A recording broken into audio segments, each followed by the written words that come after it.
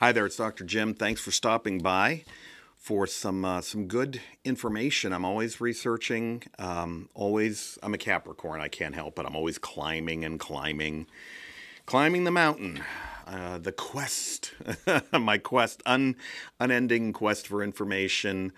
Um, and in doing so, uh, my topic today with you is mental health and well being of healthcare professionals, something that I'm very interested in, have been for a long, long time. But specifically, I'm looking at problems, causes, and how self care, and that's a big takeaway from this video and the article. If you look online, if you like to read, print it, share it, email it to your friends, your colleagues, if they have mental health and well being issues that you're concerned about. Everybody does. Um, but I look at specifically how self care can make a big, big difference. And I, I'm telling you the honest to truth, honest to goodness truth. I'm living proof of self care. And um, I probably work 15 hours a day, every day, Saturdays included. And unless my family's dragging me kicking and screaming sometimes on Sundays, and I know I shouldn't. So here's a good introduction to what I'm talking about a problem that is hiding in plain sight. The biggest problems usually do occur right in front of our eyes and under our noses. That has existed for decades, if not longer, is the deleterious effects of working in healthcare on one's physical, mental, and emotional health. And guess what? It took a pandemic that we have not seen for over 100 years to pull the cover back, to push the curtain aside on all the pain and the stress and the suffering and the exhaustion experienced by countless healthcare professionals, not only across our nation here in the United States, but around the world. And I know we have viewers from around the world, so hi there. Keep e- emailing me. I love to hear from you all the time. Jim at collinslearning.com is the easiest email. I have a bunch of emails, but that's an easy one. So, this short video and this short article, if you take a look at the article, is going to provide factors contributing, uh, contributing to diminished health, mental health, and well being, and then ways to improve them for professionals who are working in healthcare hospitals, mental behavioral health, nursing homes, assisted living, hospice, home health, you name it. Healthcare's toll. I don't want to get too negative, but we all know it's rough. I mean, going to medical school, so many people drop out because they can't take it emotionally or mentally. Um, healthcare's toll on mental health and well being.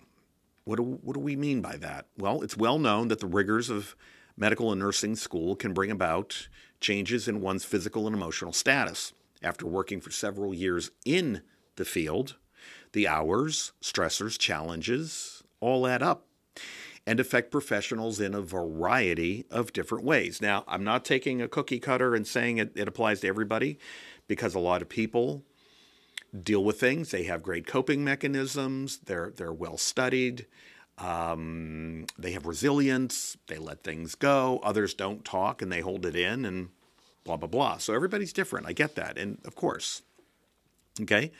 So some will experience musculoskeletal injuries, very common, by the way, among um, direct care staff, while others face symptoms like depression and anxiety eating disorders, so on and so forth. It's not uncommon that some healthcare professionals may become burned out, suffer from extreme moral distress, as well as post traumatic stress disorder, particularly after a pandemic or during the pandemic, to be honest. Regardless of the type of negative experiences one might feel um, or deal with, good people in the helping profession may also need help to maintain meaning and drive in an ever changing world of healthcare. So let's look at some causes of poor mental health and well being. And unfortunately, there is no shortage of issues, problems, or risks to mental health and well being that just naturally occur in healthcare, in that space. Some may say that these are just hazards uh, that come along with the job. And to an extent, I would say they're, they're right. The problem is that, of course, we're going to deal with daily stressors and things that happen on a daily basis. We get our get in our car and we go home, right? And then let it go. Go back tomorrow. We have a new day, a new dawn, a new day. The problem, though, the problem is chronic exposure to stressors and various factors that healthcare professionals deal with over long periods of time. Some features of healthcare um, that cause professionals to experience poor mental health, emotional health, a decline in well being include the following. But it's a short list. I could go on with this, but we're just going to get to the most common causes of poor mental, emotional health and well being for the healthcare professional. Working short, being understaffed, heavy workloads, patients, residents, clients are more medically complex than before.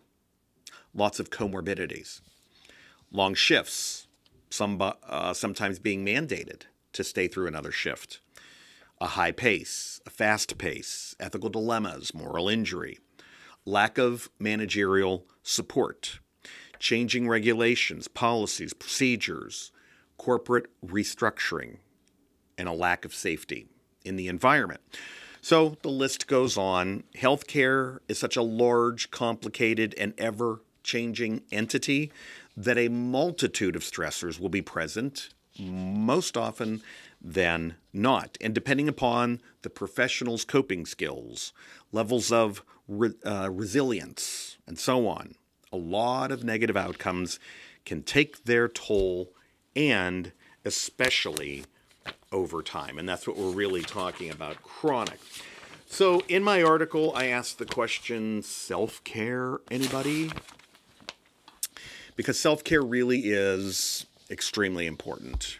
And, and that is a massive takeaway from this video and the article, by the way. Self care may be an afterthought, though, for a lot of healthcare professionals because who are they focusing on more than themselves? Everybody else, right? They take care of their patients and their clients, their residents, and sometimes they don't think about taking care of themselves whatsoever. Okay. But why do healthcare professionals do this? Um, a, they just forget. You know, human error. I take care of a lot of people. I have bills to pay. I got to put gas in my car. I have to take the kids to basketball practice or piano practice or whatever. They forget. Some, though, think that they can battle through these issues and nothing's going to harm them. Superman, Superwoman complex. Some fake it till they make it, or they just say, suck it up, and everything will be fine. Others may ignore their own needs because they might feel guilty for taking care of themselves, or they might feel selfish for putting the focus back on them. And of course, that's a cognitive error. We have to take care of ourselves or we're useless to everybody else. Some, though, may fear judgment. Um, and they, they might be afraid of others, you know, their colleagues, thinking that they're weak or they're vulnerable or whatever. Okay. Self care, I'm telling you right here and right now, is the first line of defense against stress. So, before seeking professional help, before relying on prescription medications, although you might need both, you might need all three self care, seeking a professional, staying on your meds, that's fine. But let's not forget self care should not be forgotten as a real solution to major problems. And all it, it, it all starts with this a self check in. I'm checking in with myself. How do I feel? What are my thoughts like? Am I more negative or positive? What are my stress levels like right now? And am I coping well? How are my coping skills and mechanisms? Do I have intrusive thoughts? Do I hate this place? Do I hate the people that I work with? Or do I feel blessed and do I feel fine and full of energy? Do I have uncontrollable emotions? Do I become angry more than not? Do I become um, someone who uh, feels guilty more than I normally should? So it's just a self check in. Hey, it's like, you know, lifting the hood of your car and checking things out. You know, we need to lift the hood every now and then and see heart, head, soul, and everything else, um, and body. How are we doing? So it, it can also be as easy as developing a keener sense of, of awareness, self awareness regarding your own internal state of being in the following areas. So, mental check mark here. Do you take a break when you need one? Or do you feel guilty or you're just too busy? Do you maintain a healthy diet? Okay, on a scale of 1 to 10, how healthy is that diet? Do you stay well hydrated? Do you set limits and boundaries for yourself? Are you okay in saying no every now and then and when it's absolutely necessary? Do you exercise? Do you exercise on a regular basis? Do you feel good about your physical shape and your body and your health? Are you getting good quality sleep? Do you allow some time for emotional processing? That's so important.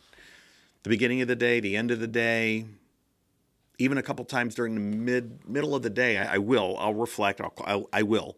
Matter of fact, one of my um, colleagues here in the office thought that I turned all the lights out and that I went into this deep meditation prayer session by myself.